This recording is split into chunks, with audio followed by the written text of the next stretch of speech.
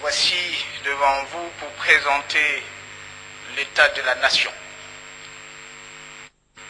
J'aurais bien voulu me livrer à cet exercice dans une ambiance de paix et de sécurité sur l'ensemble du territoire et passer en revue les activités menées dans tout le secteur de la vie nationale. Mais hélas, notre pays traverse de moments difficiles. Une fois de plus, une guerre injuste nous est imposée.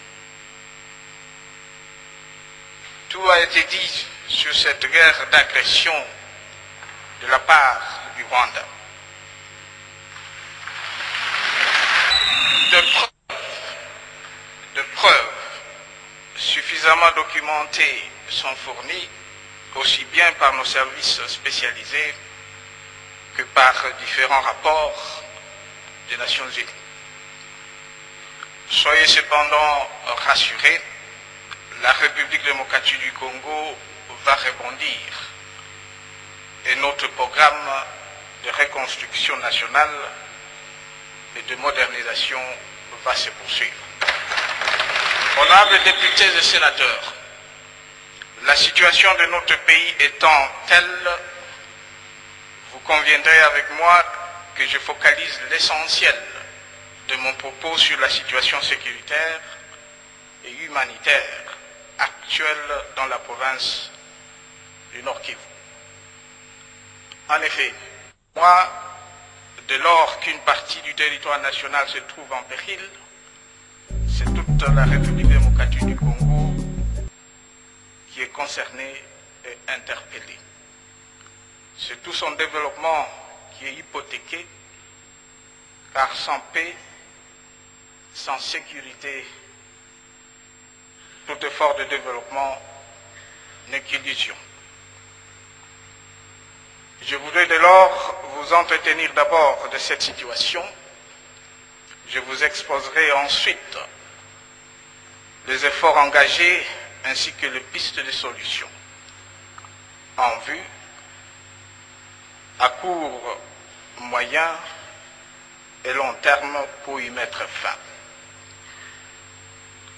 Honorables députés et sénateurs, c'est depuis fin mars 2012 que quelques éléments de la solde des intérêts étrangers ont entrepris de s'aimer le trouble et la désolation dans la province du Nord Kivu. À l'origine, ce fut une mutinerie justifiée par les allégations de non-application par le gouvernement de la République de l'accord de paix du 23 mars 2009, conclu entre le gouvernement et une trentaine de groupes armés. Aujourd'hui, l'accord n'est contesté par un seul d'entre eux et en fait par quelques-uns d'entre eux.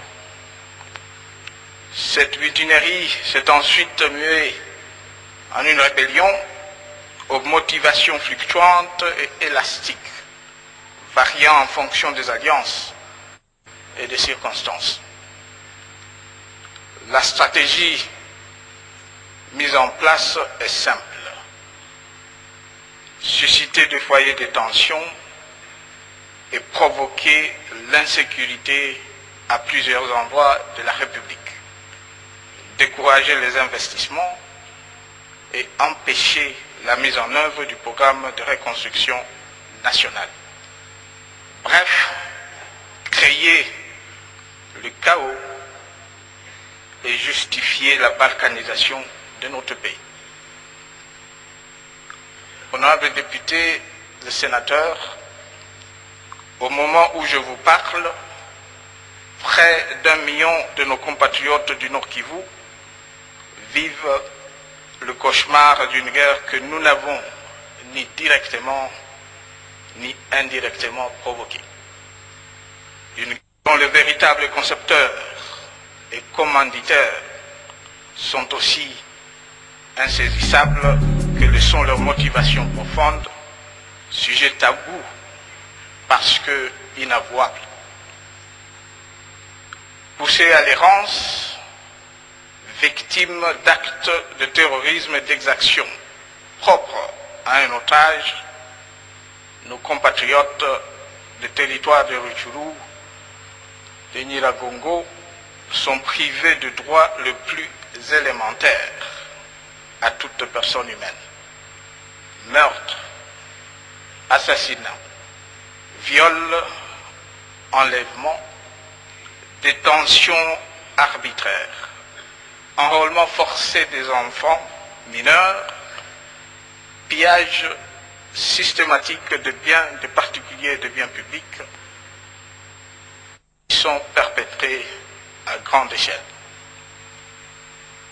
Meurtris au plus profond de nous-mêmes, nous exprimons à ce compatriote affligé notre fraternelle compassion. Nous nous inclinons devant la mémoire de tous ceux qui ont trouvé la mort du fait de cette guerre. De même, nous rendons un hommage mérité aux vaillants soldats, caporaux, officiers, comme aux éléments de la police nationale et des services de sécurité qui ont combattu avec bravoure et dont certains sont tombés sur les champs d'honneur. En leur mémoire, à tous, je vous convie à garder une minute de silence. Honorables députés et sénateurs, n'en déplaise aux prophètes de malheur qui projettent le démembrement de notre pays. La République démocratique du Congo est et restera toujours un État de droit, indépendant, souverain, uni et indivisible. Il est vrai que nous avons il y a peu perdu une bataille. Mais comme dans la vie d'un homme, un échec dans l'existence d'une nation n'est pas une fatalité. Le plus important, c'est de se ressaisir et de se donner le moyen de se projeter positivement dans l'avenir. C'est dire que nous ne ménagerons aucun effort pour reconquérir les territoires occupés. Rien, aucune souffrance, aucune privation, aucune adversité ne fera fléchir notre détermination à défendre l'intégrité territoriale, à préserver l'unité. Apprêtons-nous donc à défendre notre mère patrie jusqu'au sacrifice suprême. Honorables députés et sénateurs et la cohésion nationale. Pour mettre fin à cette nouvelle guerre, nous nous sommes dès le début déployés sur trois fronts, diplomatique, politique et militaire. Sur le plan diplomatique, la guerre au Nord Kivu et la situation humanitaire qu'elle a engendrée ont justifié, notamment la convocation en sept mois de cinq sommets extraordinaires de la conférence internationale sur la région des Grands Lacs, de deux sommets de la SADEC, d'un forum de haut niveau qui a réuni 24 entités, les États et organisations à l'initiative du secrétaire général des Nations Unies. D'une rencontre tripartite République démocratique du Congo, République du Rwanda et États-Unis d'Amérique. Deux résolutions du Conseil de sécurité et trois déclarations de son président. Grâce à cette offensive diplomatique, les États de la région des Grands Lacs ont officiellement et unanimement identifié toutes les forces négatives qui y sévissent. Vu la dégradation de la situation et l'érosion conséquente de la confiance entre notre pays et le Rwanda, l'intervention d'une force internationale neutre a été décidée par la même région, avec pour mission la surveillance de la frontière commune entre notre pays, le Rwanda et l'Ouganda d'une part, et d'autre part, l'éradication des forces négatives.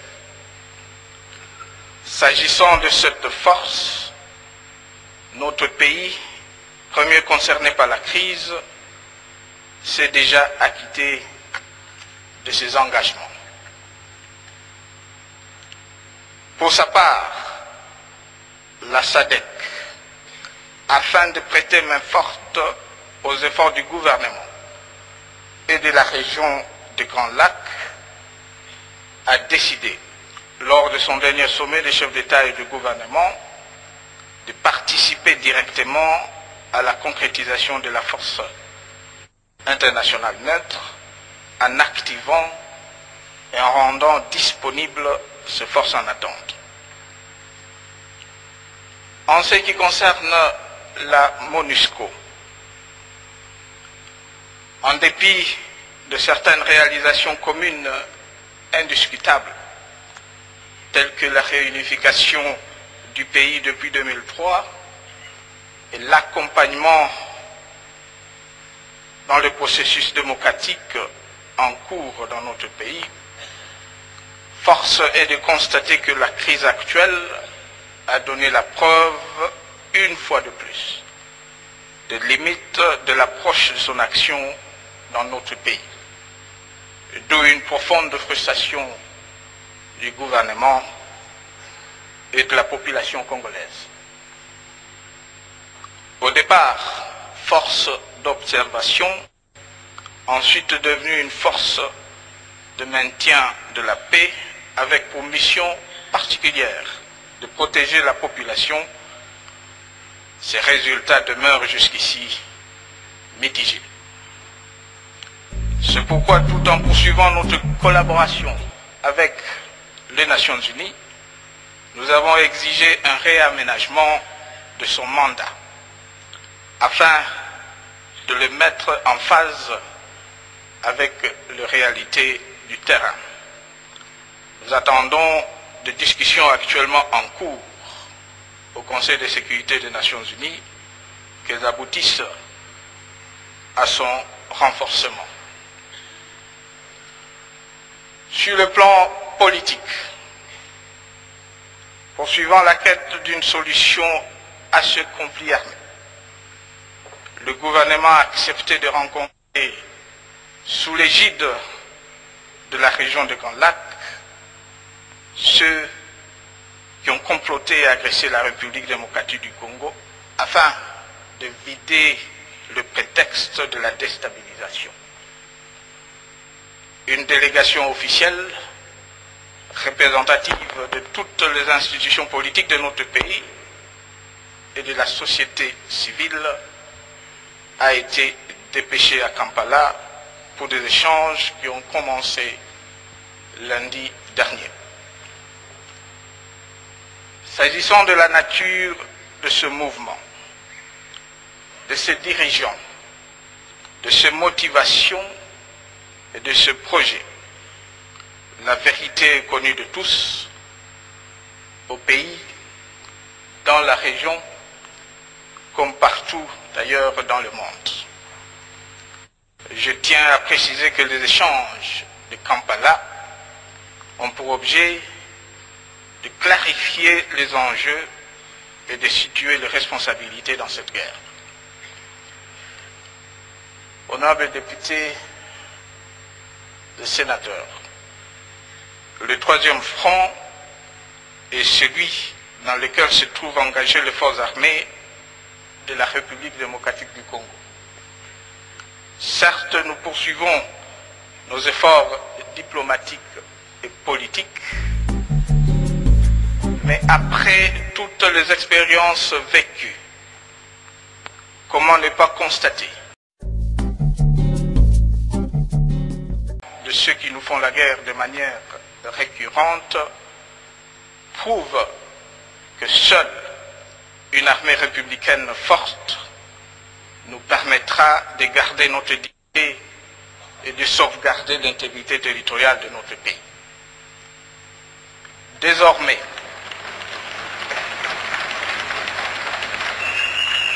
désormais, au-delà de toutes nos actions pour le développement, notre priorité sera la défense de la patrie.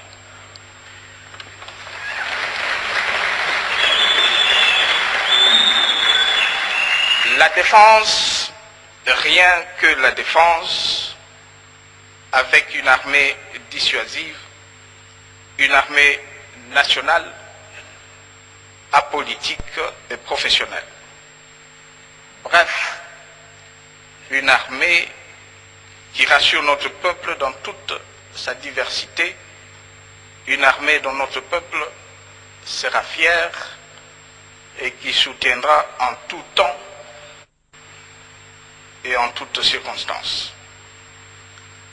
C'est dans cette optique que nous entendons poursuivre à un rythme plus accéléré le, renforcement des capacités de nos forces armées.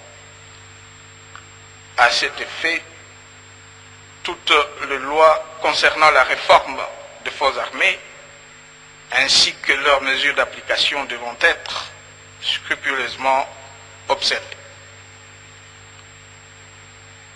C'est ici, pour moi, l'occasion de lancer un appel à la nation tout entière pour que désormais elle s'approprie l'enjeu de la défense nationale.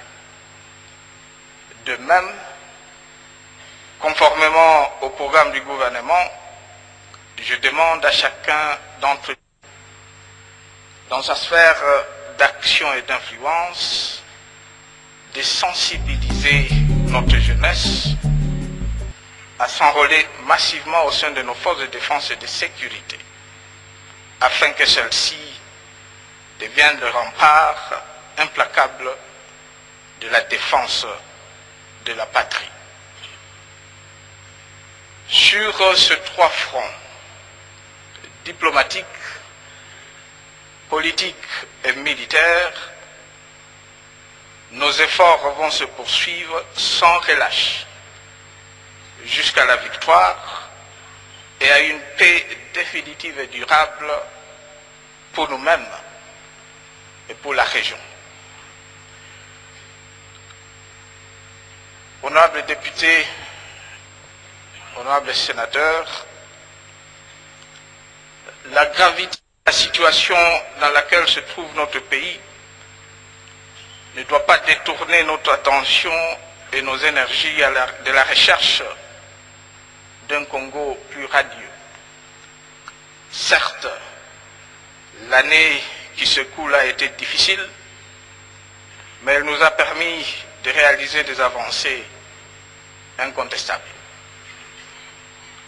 Au plan politique, les différentes actions engagées ont été focalisées sur le renforcement de notre jeune démocratie et la consolidation de l'état de droit. Les dernières élections de gouverneurs de provinces dans le Bas-Congo, la province orientale et le Kassai occidental ont démontré la vivacité de notre système politique dans lequel toutes les libertés sont admises et les contradictions acceptées. La commission électorale nationale indépendante, qui a fait l'objet d'un large débat dans les deux chambres du Parlement, est en cours de réforme. La décentralisation, exigence de notre Constitution, se poursuit. D'importantes étapes ont été franchies. Il en est ainsi du transfert de certaines compétences aux instances provinciales le projet de loi organique fixant les limites de province et celles de la ville de Kinshasa, ainsi que celui portant formation de modalités d'installation de nouvelles provinces sont en examen au Parlement. Je voudrais cependant attirer votre attention sur quelques pratiques en cours dans nos assemblées. Si le débat caractérise la démocratie, les agissements de certains responsables n'augurent pas de l'exercice d'une bonne gouvernance. Le débat politique doit se tenir dans le respect des règles de la décence, de la courtoisie et avec un sens de responsabilité. L'homme d'État, attentif aux intérêts de la nation, ne saurait se confondre à ce politicien qui ne privilégie que leur propre calcul. En cette période de guerre, la mobilisation de tous est requise. Ne tombons pas non plus dans le piège de la stigmatisation, quelle qu'elle soit, ethnique ou communautaire, régionale ou politique. Il n'y a pas une république pour la majorité et une autre pour l'opposition. Nous avons qu'une seule république, c'est la République démocratique du Congo. Honorable,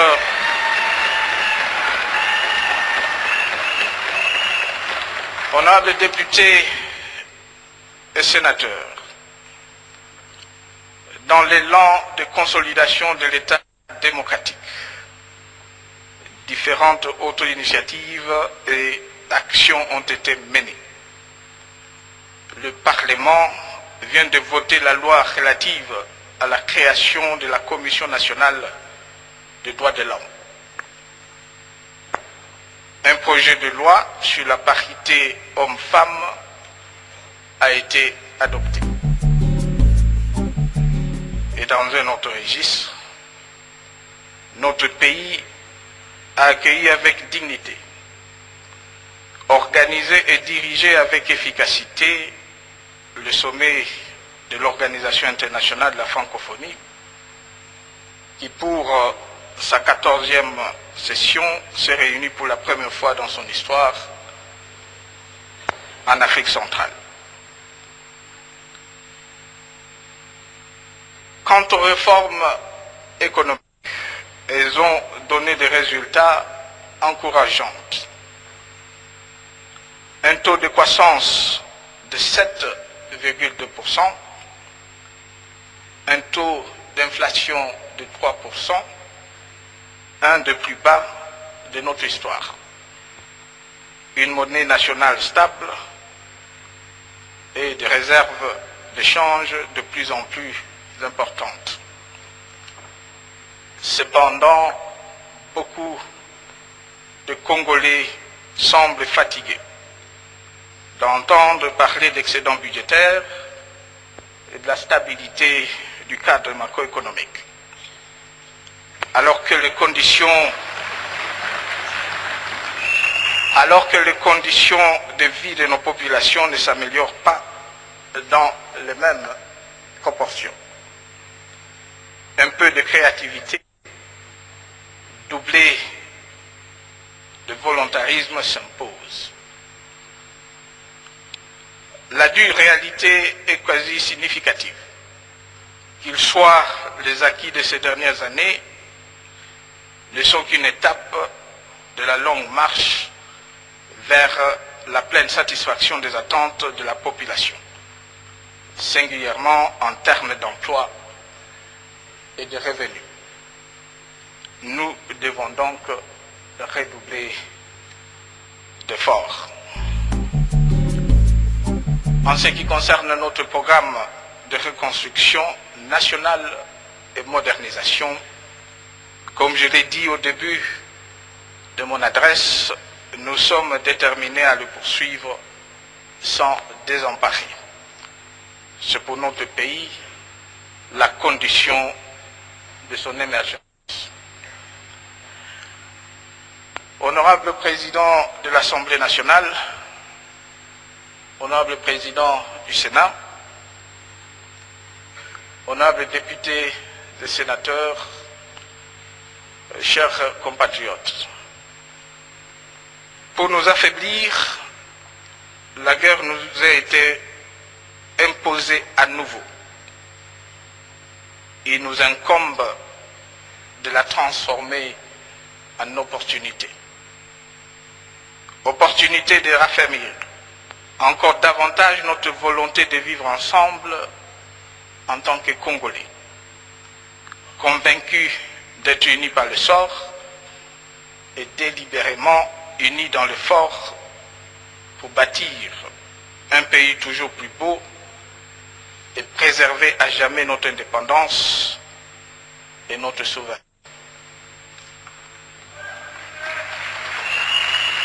L'opportunité aussi de repenser nos priorités et consacrer à la défense du territoire national une part conséquente de nos énergies et de nos ressources.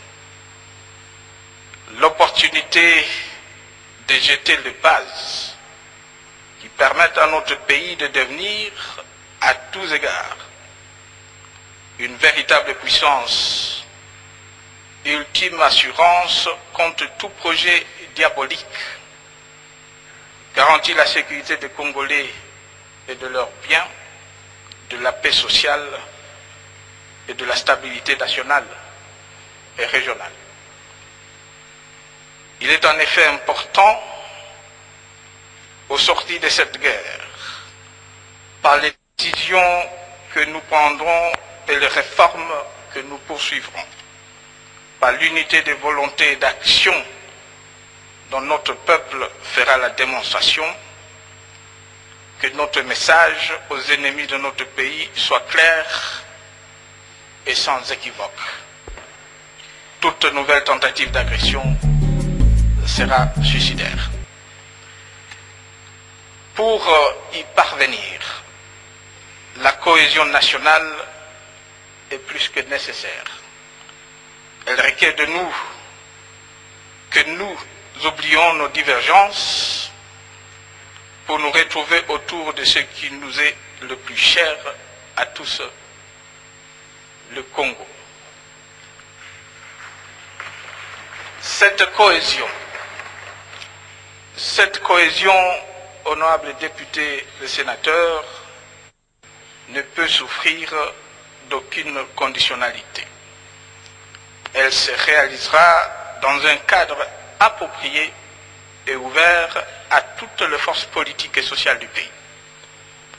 Une initiative sera prise incessamment à cet effet et les modalités de sa réalisation en seront précisées le moment venu. Face à une situation historique qui met la nation en péril, plus qu'une responsabilité, la cohésion nationale s'impose à nous tous. Acteurs politiques, société civile, forces de défense et de sécurité et toutes les forces vives de la nation. La défense de notre cher et beau pays est l'affaire de tous, de même que la préservation de la paix nous concerne tous. Je suis convaincu qu'avec l'implication de chacun de nous et avec l'aide de Dieu, ce défi sera relevé. Honorables députés et sénateurs, mes chers compatriotes, je vous remercie pour votre attention.